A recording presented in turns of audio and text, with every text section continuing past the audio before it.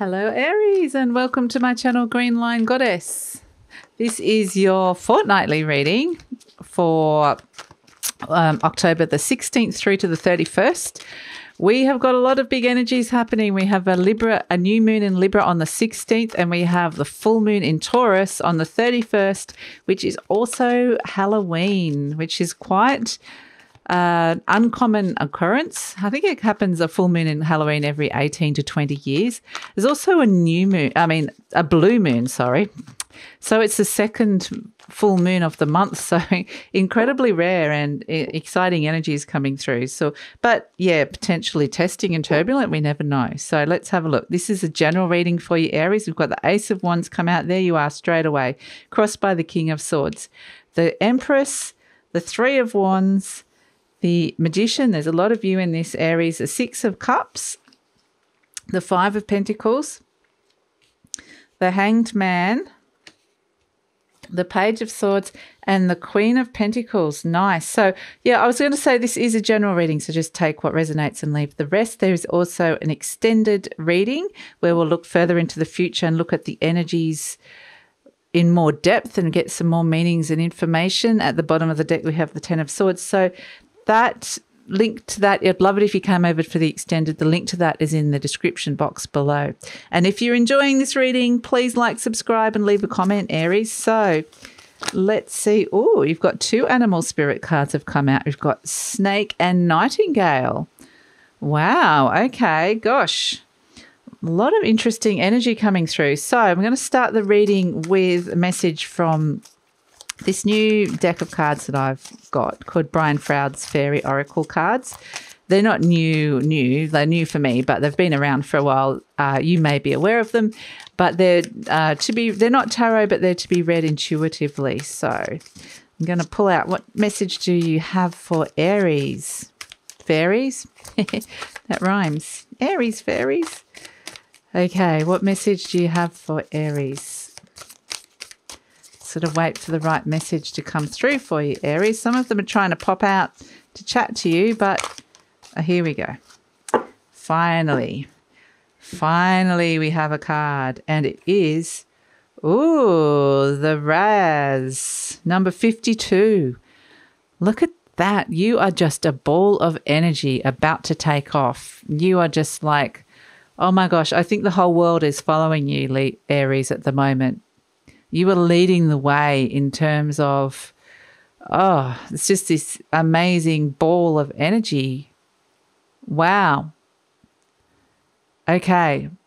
But for some of you, there's the initial burst of energy that's come out, and then it's kind of a, I just, I, I do I have enough energy? I might just need to take a little break for a moment. I'm losing steam. So there could be a case of just feeling like you're losing a bit of steam for the moment because you're carrying quite a lot, carrying quite a heavy burden in terms of this vision that you're bringing into the world because you are kind of like, you know, you're the start of the zodiac. And I feel like with these new energies that hitting the earth at the moment, you've kind of been charging forward and you are leading the way. But it's like you had, again, you just need a little bit of rest time you need some time to regather and rejuvenate your forces and your energy coming through here.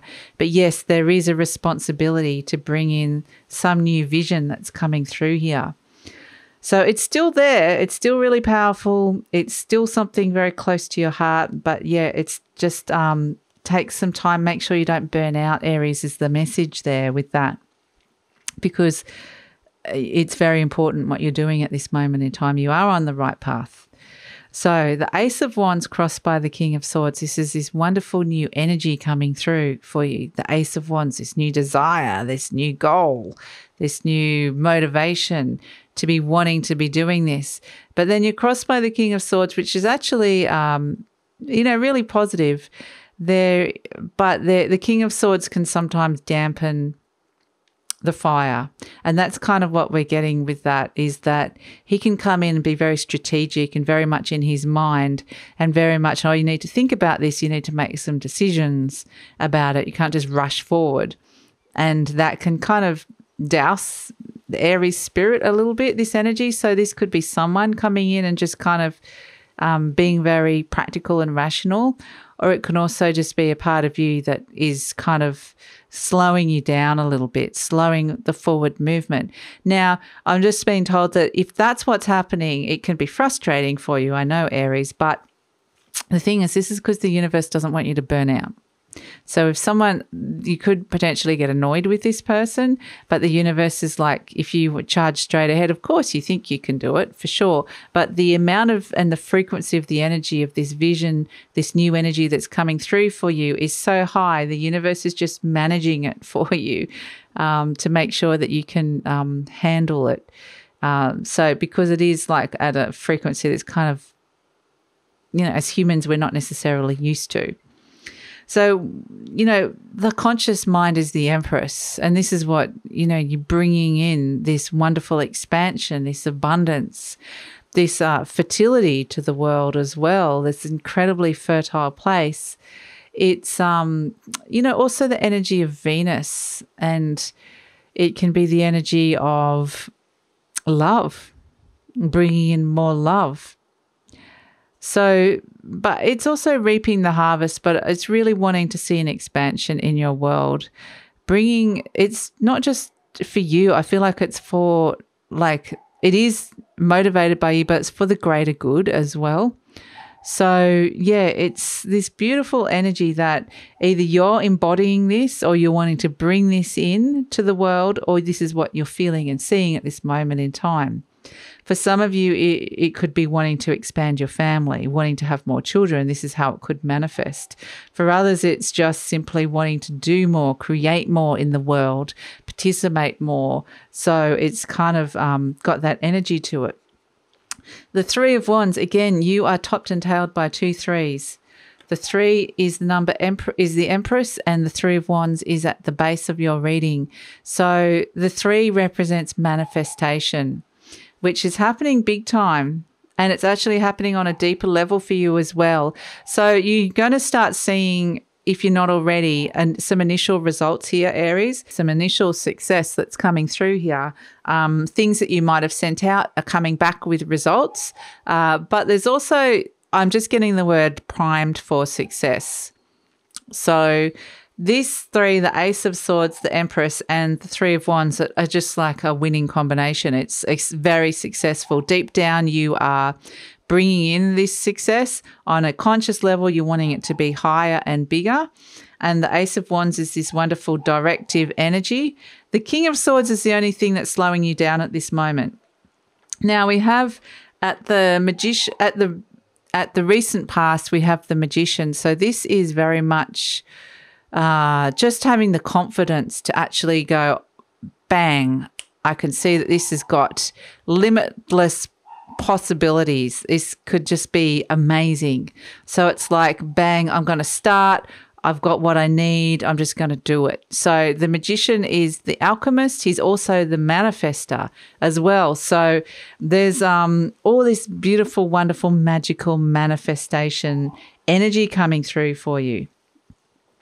So we have in the near future the Six of Cups, and this is happiness coming in. Um, this is uh, happiness and stability around the home as well. It can be just stepping back for a moment and enjoying the small things in life, um, enjoying basic tasks, enjoying spending time with children, enjoying, you know, just. Um, very mindful energy of just stepping back into the ordinary almost.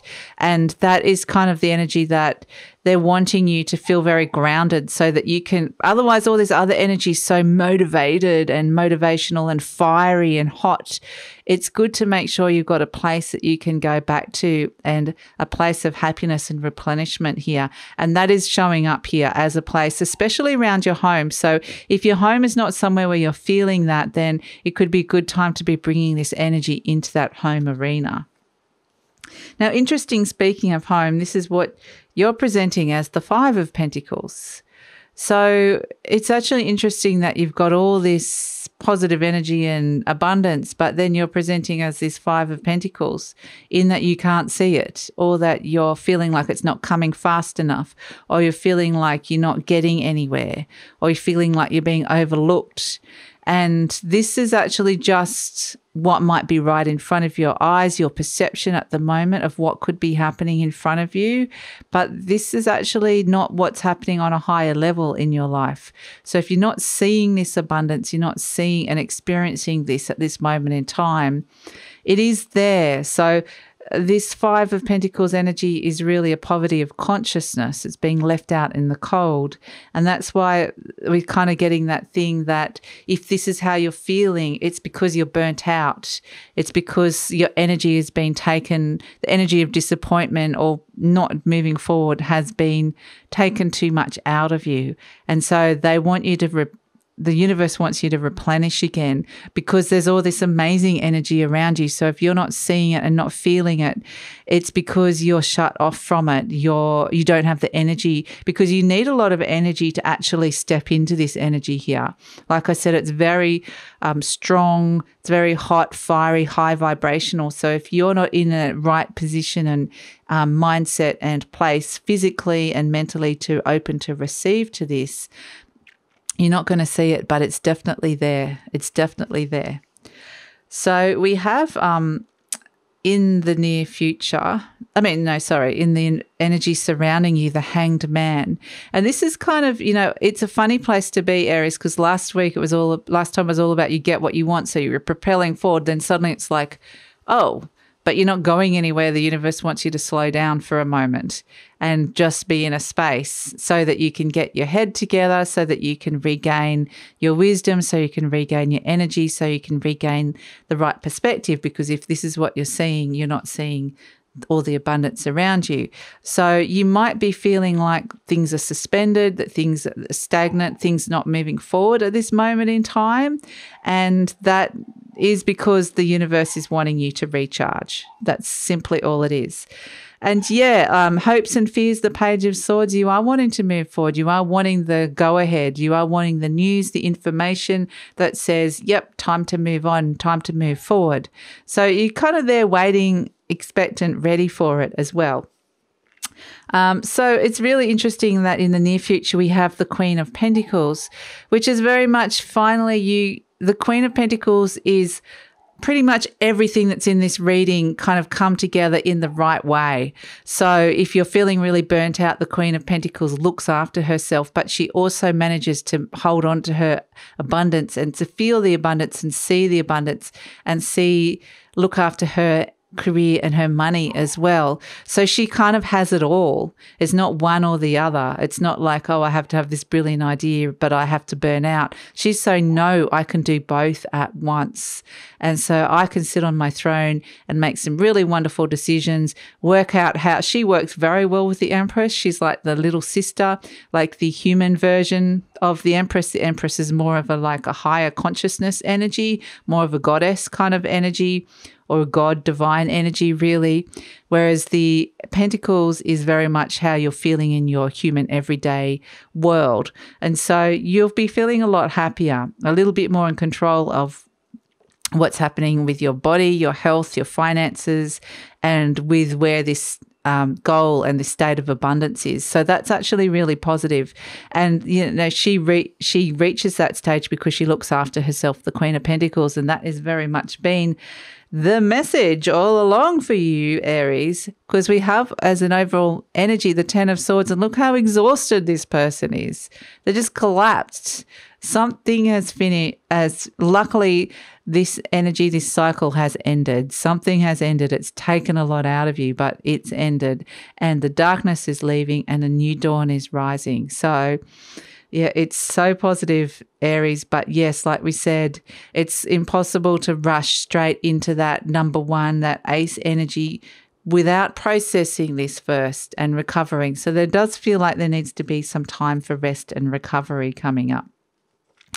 So it's interesting because um, we have the completion of the cycle here with the snake and also sitting next to the nightingale. And you can see, I feel like, you know, it's the completion of the cycles around the full moon. So on the 31st is when you will feel start feeling good again, uh, which is oh well it it's when um, you'll start feeling like you've got something beautiful to express. You start seeing the beauty in the world again. You're actually, the nightingale is the most beautiful sound on the planet. And so it's reconnecting back in with the magic inside you, pretty much, and feeling that and reconnecting in with the magic of the universe and feeling that. And also sensing that there's something really amazing about to birth into your life here. There really is. You're bringing in this wonderful new energy, but it's a bit more of a, um, it's stepping out of the divine masculine, trying to push, push, push and make something happen and stepping into the more into a divine feminine energy where you're nurturing yourself and you're open to receive. And it's once you're in that state where there's a nice balance between the two of them, uh, that's when the opening can come and the receiving can come. So it's um, just kind of getting you in the right space, really, Aries, for this to progress and move forward. So I hope that makes sense and resonates with you.